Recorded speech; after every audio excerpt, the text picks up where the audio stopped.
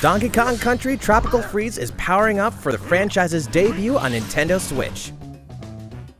Join Donkey Kong, Diddy Kong, Dixie Kong, and Cranky Kong for this critically acclaimed adventure, which you can now enjoy in a chill new mode as groovy surfing simian Funky Kong.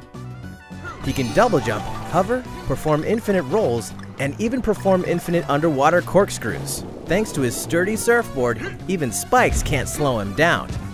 And whoa, what's going on here? Man, this guy really knows how to keep his cool. Thanks to this righteous dude, even stages packed with perils can be smooth surfing.